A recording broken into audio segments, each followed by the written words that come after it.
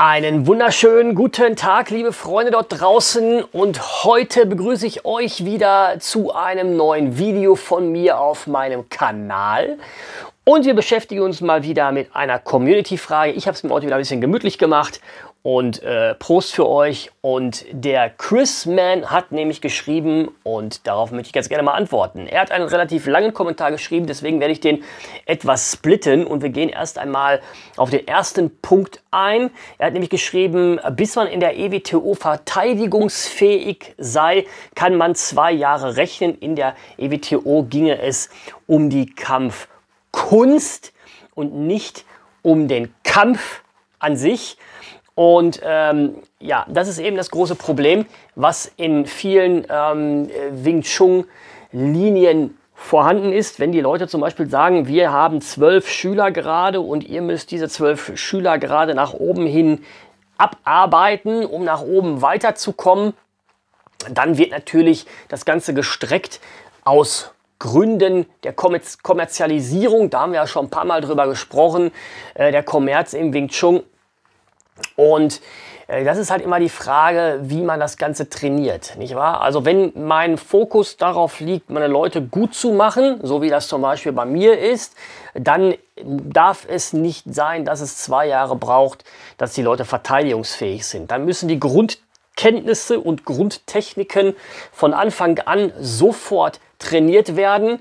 Wir müssen sofort in den Infight gehen. Wir müssen mit dem Sparring beginnen. Die Leute müssen sofort rangeführt werden. Wir brauchen den Körperkontakt sehr, sehr schnell. Wir können natürlich nicht bei 100% anfangen. Wir müssen die Leute natürlich langsam dran gewöhnen, das ist doch ganz klar.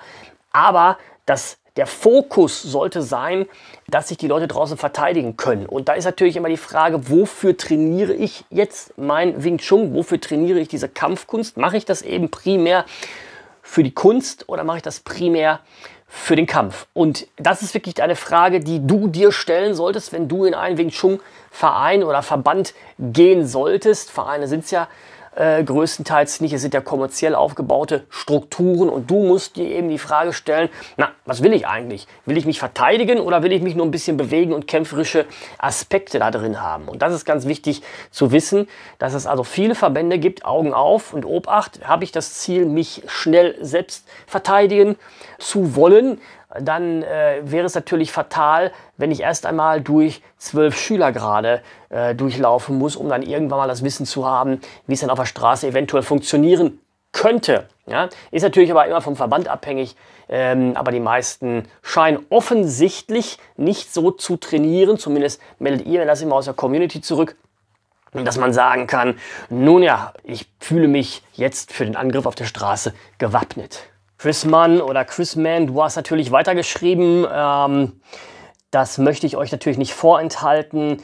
Chisau kann funktionieren gegen einen trainierten Boxer, allerdings kaum bzw. schwer kleben zu bleiben, wenn jemand Jab Cross Hook in einer Sekunde rauspfeffert. Das stimmt. Hm. Komisch. Und dann funktioniert nämlich plötzlich das Chisau nicht mehr. Also, das ist ja immer das, was ich in ganz vielen Videos propagiere. Das klassische Wing Chun. Das Wing Chun ist nicht für Sparring geeignet. Das klassische Wing Chun für Sparring, wo du jetzt mit einem Boxer zu tun hast, der sich komplett auf dich einstellen kann, dafür ist Wing Chun leider nicht geeignet.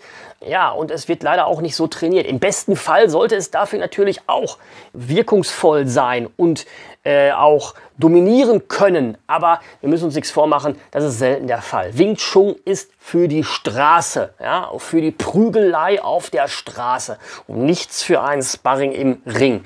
Und da gibt es natürlich schon ein Video, das habe ich mal gemacht hier oben, die Wahrheit über Wing Chun. Da habe ich das noch mal ein bisschen genauer erklärt. Ich will jetzt hier gar nicht mich in den Details verlieren und das äh, stundenlang begründen. Die, die meinen Kanal kennen, wissen, wie ich darüber denke.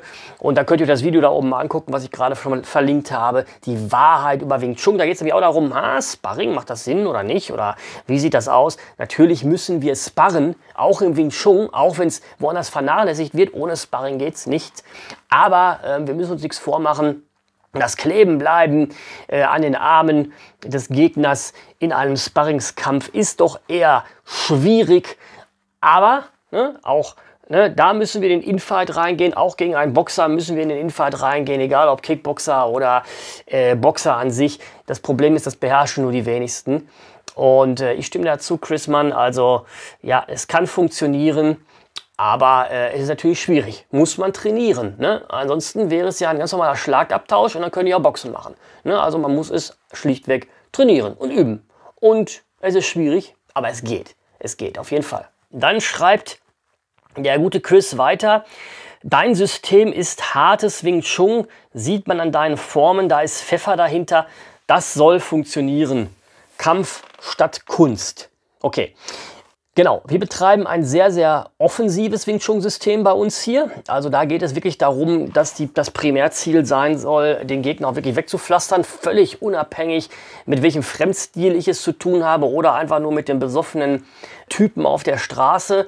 Wir müssen in der Lage sein, mit jedem dieser Stile zu Rande zu kommen. Das ist unser Anspruch. Ja? Das kann man mal so festhalten. Ob das schlussendlich funktioniert in der jeweiligen Situation, das wird man dann, das wird die jeweilige Situation zeigen, ob man sich da sicher fühlt oder nicht. Ich persönlich kann für mich einfach nur sagen, jo, äh, es funktioniert. Auch gegen einen Kickboxer auf der Straße, alles schon gehabt, überhaupt kein Problem. Hat alles geklappt. Hängt natürlich auch mal davon ab, was ist der andere für ein Typ. Ne? Also wenn er nicht damit rechnet, nicht kampferprobt ist. Gilt aber für denjenigen, der WT praktiziert, ganz genauso. Ne? Also äh, der den ersten Schlag landet, der obsiegt in der Regel auch. Ja, und dann geht es darum, wie wir unser Wing Chun eben betreiben. Also wie ich gerade schon sagte, wir haben ein sehr, sehr offensives Wing Chun. Bei uns geht es auch richtig zur Sache. Wir machen ordentliches Sparring. Und zwar im Leichtkontakt, im Semikontakt und im Vollkontakt prügeln wir uns. Das ist auch richtig und auch wichtig so. Und die Formen, da sieht man das schon, dass wir das sehr, sehr hart machen, also sehr, ich sag mal, ja, dynamisch die Formen laufen. Ja, warum ist das so? Ja, weil äh, das ist nun mal das Grundprinzip des Wing Chun. Also das habe ich mir nicht ausgedacht, sondern du kannst die Form als Fortgeschrittener nicht nach fünf Jahren immer noch laufen wie ein Anfänger und weich und nachgiebig sein. Das ist nicht das Ziel. Ne? So macht man das als Anfänger. Und irgendwann kommt die Power dahinter, die Kraft dahinter, die Dynamik dahinter, die du einfach auch brauchst für einen richtigen Kampf. Ja, ich meine, mit ständig ausweichen und nachgeben gewinnt niemand einen Kampf, sondern eine gewisse K.O. geschlagen. Und wer das nicht glaubt, geht mal einfach in den Boxclub und macht mal mit denen Wing Chun dann da. Die werden euch schon auf den Boden der Tatsachen zurückholen. Also, unser Wing Chun ist ein sehr harter Stil, offensiv, aber nach allen Wing Chun Prinzipien, die das ähm, System nun mal auch zu bieten hat. Also wir gehen nicht Kraft gegen Kraft voll brutal. Ne? Zieht sich der Gegner zurück, dann bleiben wir kleben, wir wollen hinterhergehen und so weiter. Also die Prinzipien beherzigen wir sehr wohl. Nur bei uns ist es nicht dieses Weichspüler Wing Chun, was man ganz oft aus anderen äh, ja, äh, Verbänden vielleicht kennt oder kennengelernt hat, weswegen ja Wing Chun auch einen schlechten Ruf hat. Das muss man ja nun mal sagen. Also wer sich gerne mal die Form angucken möchte, hier oben kann ich mal die Playlist verlinken zu unseren Formen und dann kann sich ja jeder selbst ein Bild machen. Ja genau, und dann schreibt er hier zu guter Letzt, dass es bei der EWTO äh, Jahre dauern würde, bis man die Beauty-Techniken zum Beispiel lernt. Als ähm, Chrisman dann zum Jet Kundo gewechselt hat, dann hat er sofort äh, die praktische Erfahrung mit Holzpuppenadaption vorgesetzt bekommen. Praxistraining halt, sagt er selber, bewertet er das selber. Und äh, ja, findet das Video gut und freut sich auf den äh, Podcast. Ja, ein Podcast, den kann ich auch mal verlinken für euch. Und das ist das große Problem. Ähm, auch bei uns ist es, muss ich fairerweise sagen, so, dass wir natürlich eine gewisse Struktur haben. Wir haben ja auch ein Graduierungssystem analog eines Trainingsplans. So vergleiche ich das immer. Also da geht es nicht darum, euch lange klein zu halten und zwölf Schüler gerade durchlaufen zu lassen. Die haben wir übrigens auch gar nicht.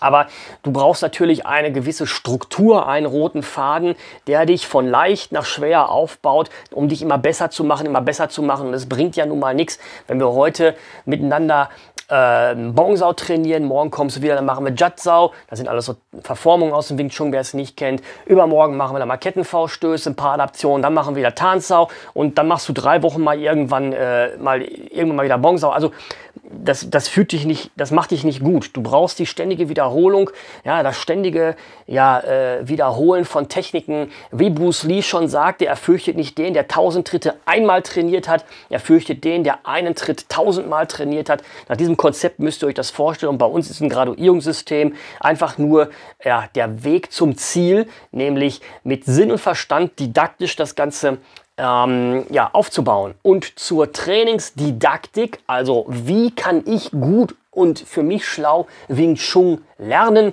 Da gibt es ja auch schon ein Video zu, wenn die Theorie dazu mal interessiert. Sehr interessantes Video, äh, habe ich hier oben verlinkt hat die Community übrigens mal bei mir im Community-Tab abgestimmt und gesagt, Dom, das wollen wir ganz gerne mal als nächstes äh, sehen von dir. Und ich glaube, das Video ist ganz interessant für dich. Wenn dich das interessiert, schaust dir auf jeden Fall an. Ansonsten würde ich mich freuen, äh, wenn wir uns beim nächsten Mal wiedersehen. Chrisman, danke für deinen äh, Kommentar und euch da draußen wünsche ich alles Gute. Wir sehen uns. Bis zum nächsten Mal. Euer Dom. Ciao.